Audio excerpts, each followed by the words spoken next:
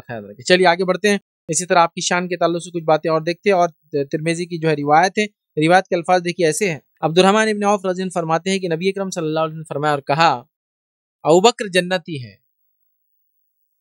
क्या फरमाया? अबुबकर जन्नती है। उमर जन्नती है। उस्मान जन्नती है। देखिए फिर तीसरे नंबर पे आ गए। उस्मान जन्नती है। ठीक? अली जन्नती है। तलहा जन्नती है। जुबैर जन्नती है। अब्दुलरहमान इबन औफ जन्नती है, साद इबन वक़ास जन्नती है, सईद बिन जैद जन्नती है और अबू वैदा इबन जर्राह रज़ी अल्लाह जन्नती है। ये दस लोग हैं जिनको अशरा मुबशरा कहा जाता है आम जबान में, जिनको नबी अकरम वसल्लम ने एक साथ बैक वक्त मुबारकबाद दी थी। ये दस शख्सियात है अशरा मुबशरा तो यहाँ भी तीसरे नंबर पे काउंट किया आपने। समझ रहे आप? ठीक है आइए इसी तरह